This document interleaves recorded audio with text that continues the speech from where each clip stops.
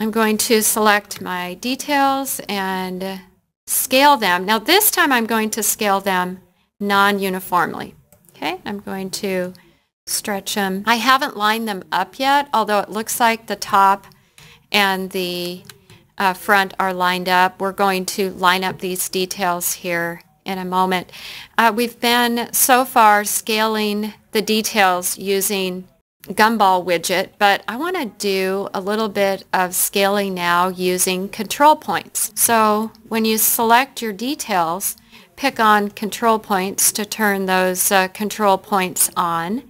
And if you have two uh, details that are right next to each other, you can grab that control point and stretch them out.